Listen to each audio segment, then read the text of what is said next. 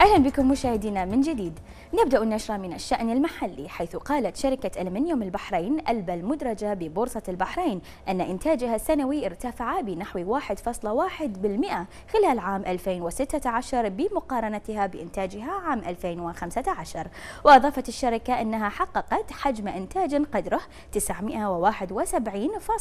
ألف طن متري لعام 2016 هو الأكبر في تاريخ الشركة. وأوضحت تيمور الرئيس التنفيذي لألبا أن ارتفاع إنتاج الشركة جاء نتيجة الأداء من مجال السلامة بدون نفقات رأسمالية تذكر متمنيا تحقيق إنجازات أكبر في العام الجاري. وكشفت الشركة في أكتوبر الماضي أنها تمكنت من زيادة إنتاجها في الربع الثالث من عام 2016 رغم تراجع أسعار الألمنيوم بجميع قطاعاته مسجلا زيادة سنوية بنسبة بلغت 2.4% وكانت أرباح الشركة تراجعت في التسعة أشهر الأولى لعام 2016 لتصل إلى 34.8 مليون دينار مقابل 75.66 مليون دينار في الفترة المقارنة من عام 2015 وفي خبر محلي آخر يخص التجار البحرينيين أطلق التمكين برنامج تمويل بلس وذلك بالتعاون مع بنك البركة الإسلامي بمحفظة وقدرها 20 مليون دينار بحريني وبشكل يتوافق مع الشريعة الإسلامية وبنسبة ربح تنافسية. وتهدف تمكين من خلال هذا البرنامج إلى دعم المؤسسات المتوسطة والكبيرة حرصا منها على معالجة أبرز التحديات التي تواجهها المؤسسات خلال مراحل تطورها المختلفة. وجاء برنامج تمويل تمويل بلس نتيجة للدراسة التي أجرتها تمكين لتحديد احتياجات مؤسسات القطاع الخاص في مملكة البحرين والتي أوضحت وجود فجوة تمويلية في تمويل المشاريع التي تزيد عن مليون دينار بحريني وهو ما دفع تمكين إلى إيجاد حلول تمويلية لدعم المؤسسات المتوسطة والكبيرة من خلال تقديم تمويل لهذه المشاريع بشكل يتوافق مع الشريعة الإسلامية مما طبعا يعود بالنفع على الاقتصاد الوطني. أظهرت بيانات رسمية صادرة عن وزارة الصناعة والتجارة والسياحة أن إنتاج المصوغات الذهبية في البحرين خلال العام المنصرم تراجع إلى 7.5 طن بنسبة تصل إلى 12% عن العام 2015 والذي سجل إنتاجه نحو 9 أطنان. طبعا كما تعلمون مشاهدينا فإن الذهب البحريني الخالص يعرف محليا وخليجيا وعربيا بجودته وأصالته وتنافسيته العالمية. مزيد من التفاصيل في تقرير الزميل عامر العتوم. من المتعارف عليه في منطقة الخليج العربي والدول العربية ككل أن الذهب البحريني يعتبر أفضل أنواع الذهب شهرة في المنطقة إذ يشهد الذهب البحريني رواجا من قبل العائلات الخليجية لشراء المشغولات الذهبية بمختلف أنواعها. وتوضح البيانات الرسمية أن مجموع أعداد المصوغات المنجزة عام 2016 من الذهب البحريني بلغت 7.5 طن بانخفاض نسبته 12% عن العام 2015 ويؤكد تجار معنيون بقطاع الذهب والمجوهرات أن مبيعات الجملة للذهب البحريني تراجعت خلال العام المنصرم بنسبة 40% مقارنة بالعام الماضي 2015 وفيما يتعلق بالمصوغات المرفوضة وغير المجازة تشير الأرقام إلى أن في الفترة من يناير إلى نوفمبر 2016 سجلت أوزان المصوغات حوالي 141 كيلوغراما مقارنة بالعام 2015 والذي سجل أوزانا غير مجازة بلغت 212 كيلوغراما للفترة ذاتها بتراجع نسبته 33%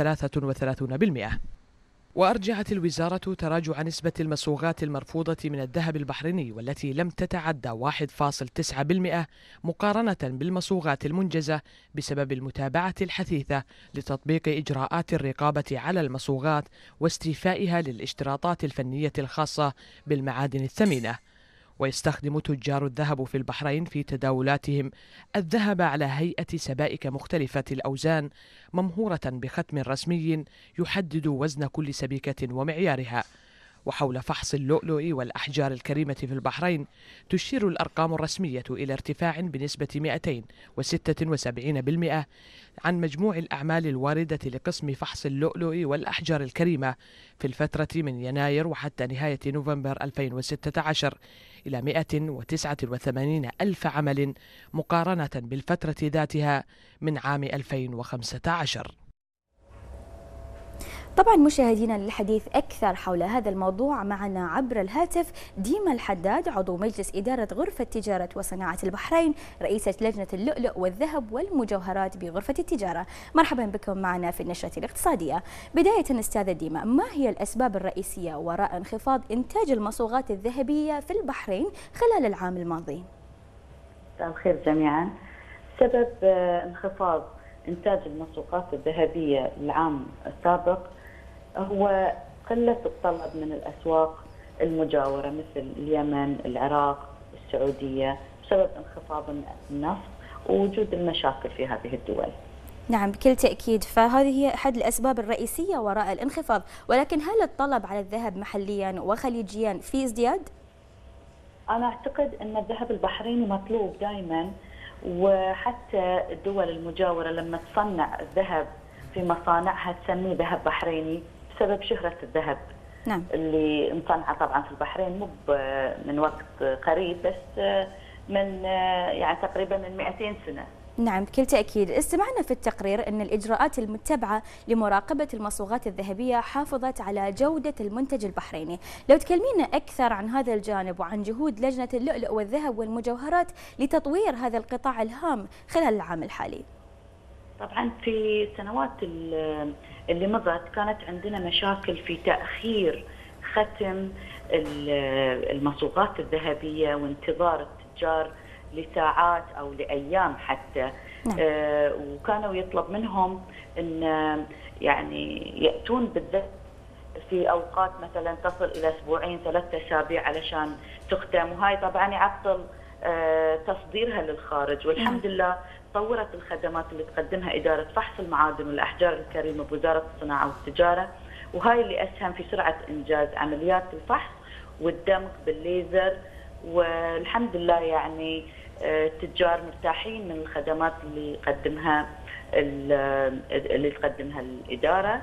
وبعدين بالنسبة للأنشطة والخدمات اللي تقدمها لجنة اللؤلؤ والذهب والمجوهرات غرفة التجارة تم مؤخرا توقيع اتفاقية مع معهد HRD Antwerp Institute of Gemmology لتقديم برامج نعم. برنامجين بالتحديد متكاملين لتصميم الألماس والمجوهرات بالتعاون مع مجلس الأعلى للمرأة آه، الهدف منهم خلق فرص عمل جديدة للبحرينيين وإدماجهم في سوق العمل ولأن طبعا آه، قطاع المجوهرات يعتبر من أهم القطاعات الهامة اللي اشتهرت نعم. فيها مملكة البحرين بكل تأكيد وبالإضافة إلى آه، التفكير وتم عقد مؤخرا بعد اجتماعات عدة اجتماعات مع إدارة الأوقاف الجعفرية لبحث مشروع إقامة مركز متكامل لورش صناعة, صناعة المجوهرات نعم. وبتكون صديقة للبيئة بالإضافة إلى مرافق لسكن العمال فيها. نعم بكل تأكيد كل اللي ذكرتيه المفروض أنه يعني آه نقدر نقول آه تغير توقعاتنا للعام الحالي بزيادة الإنتاج. فما هي توقعاتكم عن إنتاج الذهب لعام 2017 أنا والله متفائلة دائما متفائلة وأعتقد بسبب شهرة آه، مصوغاتنا الذهبية نعم. فلازم بيكون لها طلب. والناس طبعا دائما تستعمل أو تشتري هاي المصوغات في مناسبات الزواج مو بس في دول الخليج بس نعم. حتى مثلا في الدول اللي سبقت وذكرتها مثل السودان مثل اليمن والعراق نعم. لجودة المنتج طبعا ويعني شو يقولون لأصالته وجودته طبعا وثقتهم بالذهب البحريني وتنوع المصوغات والأشكال طبعا واستمع نعم. شكرا طبعا الاستاذه ديم الحداد عضو مجلس إدارة غرفة تجاره وصناعة البحرين رئيسة لجنة اللؤلؤ والذهب والمجوهرات بغرفة التجارة. شكرا جزيلا لك. والآن مشاهدينا نترككم مع أسعار صرف الدينار البحريني مقابل العملات الخليجية والعالمية.